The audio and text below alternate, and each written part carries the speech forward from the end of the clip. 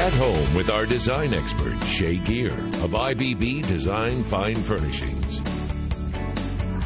If you have a small apartment, Easy. I do. you know you have to have a little creativity in decorating. You're just starting out, girl. Yeah, I know. No, I love my small apartment. I do. Shay Geyer of IBB Design Fine Furnishing. She shares the process of a yearly project for a deserving family in an apartment home in Frisco. Take a look. I'm so excited to share a very special project reveal with you guys today. So twice a year I participate in the One Room Challenge, which is a six week makeover blogging event.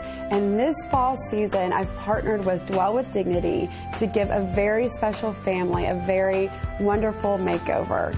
So let's get right to it. I'm going to show you some behind the scenes, the before photos, and then obviously the big reveal. So the before photos, the transformation you'll see is actually quite remarkable. And there's a lot of pros to this space, even though it is an apartment home. It's a very large open concept family and dining room area off the kitchen. And I'm going to segment it into different workspaces and functions for the family. It's a mom and her two kids.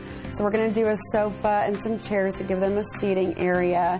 And then I'm going to give her a desk space to work or for the kids to do homework at. And she also loves to make jewelry as a hobby and sell it. So we're going to uh, give her a workspace to make her jewelry and then also a place to display it.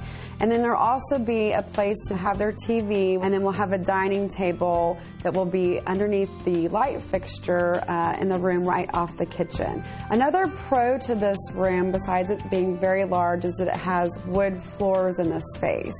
So some cons to the space are uh, we cannot paint or wallpaper since it is an apartment home, and we cannot change out any of the light fixtures. It really does take a village to make a charity project like this pull together. So we have a lot of sponsors that I've got listed on the blog that have helped contribute product to this beautiful makeover. So the jumping off point for the room, the homeowner wanted a palette of pink, green, and blue. She wanted it to be sophisticated but also kind of girly. So I actually found this pillow from a beautiful sponsor, Arianna Belle, that makes these gorgeous pillows and we use this as a jumping off point for the room. And then I was super excited that one of my very own fabrics actually paired perfectly with that pillow. This is from my new fabric collection and this particular pattern is called Genesis, which actually I loved the tie-in for this because that means new beginning. And so I was super excited to use this fabric in the project. And the wow factor is being brought in because we are tenting the wall back behind the sofa.